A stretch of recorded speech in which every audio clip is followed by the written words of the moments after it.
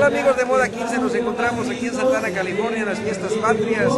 Ahorita mismo en septiembre saliendo del Teatro Jones, donde se presentó la película La tragedia del vaquero. ¿Y qué creen? Nos encontramos ahora mismo aquí con los Jones, que acaban de cantar y que están muy motivados para mandar un saludo a todos nuestros audiencia. ¿Qué tal muchachos?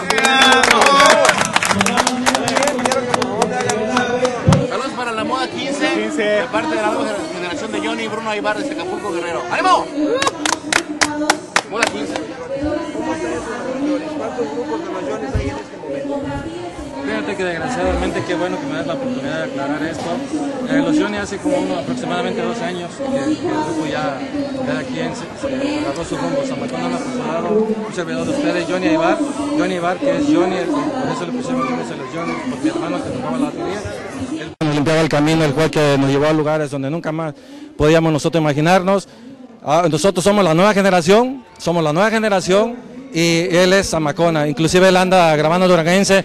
Nosotros todavía tenemos la esencia musical de lo que es lo romántico, seguimos con eso.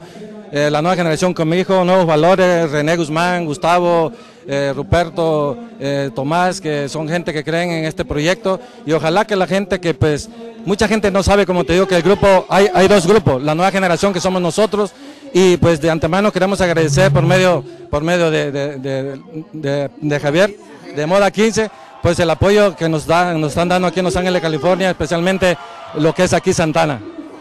Muchachos, para la gente que nos está escuchando y que tiene dudas, porque eso es muy importante, estamos hablando que la gente entiende que Zamacona es el, el dueño, digamos, de los Yonix, pero no es así.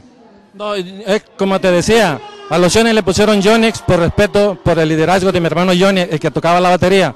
Zamacona no se llama Johnny, ninguno de ellos se llama Johnny. Él es José Manuel Zamacona, con mucho respeto, era la primera voz, una voz, mm, pues una de las mejores voces gruperas hace 30 años, pero tú sabes, todo por servir se acaba.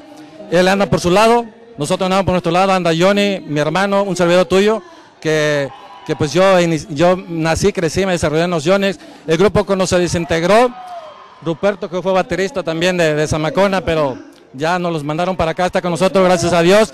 Está Santi Moreno, requinto original de los Johnny también. Y yo creo que también pues nosotros tenemos derecho, porque también nosotros sufrimos igual que, que, que todos.